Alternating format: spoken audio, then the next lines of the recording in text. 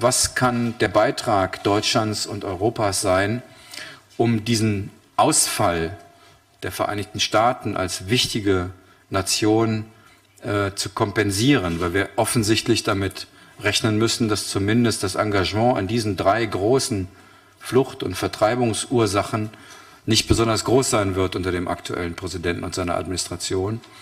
Ähm, natürlich müssen wir versuchen, mit den Vereinigten Staaten im Gespräch zu bleiben. Aber ich glaube, was wichtig ist, ist, dass Europa ähm, stärker wird und nicht sich in Kleinigkeiten verliert.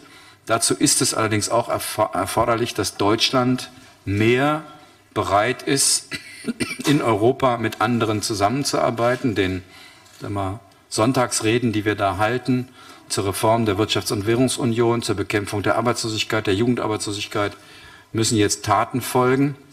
Und es ist nicht einfach nur so mal ein missglückter G7-Gipfel, den wir da erlebt haben, sondern es ist leider ein Signal für, sagen wir mal,